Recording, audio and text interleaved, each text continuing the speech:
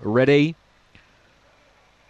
And away, Bogey Beckham third to begin. Springvale Bryn won the start. Bogey Beckham moves up. Hookanui the inside, and four wide there was Crichton Bale. Those four get five links on Mix Angel, who's found the rail mid race. Uh, as they come to the judge, third last was Karoma Storm. Then Long Gully Gilly, and last is just as tough. Bogey Beckham took over, got away. Springvale Bryn, she's got five links to make up. Crichton Bale went past her. Then Hookanui. Further back on the inside was Mix Angel. Well back in the field was Long Gully Gilly and just as tough is last, but Bogey Beckham sailed away. Six lengths in front. Mix Angel runs to second, then Crichton Bale. Bogey Beckham five in front. Mix Angel is starting to charge home, but Bogey Beckham, the standout stayer in South Australia, won by three to Mix Angel.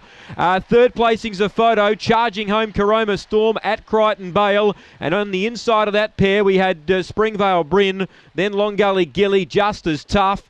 And what's he run here? We stand by for the final time here for the distance final. There it is, 43.08.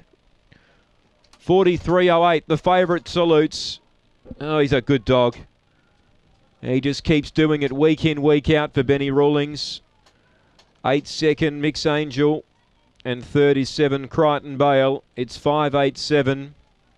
Six gets fourth, Karoma Storm. 5.876. 5, 8, 7 and 6.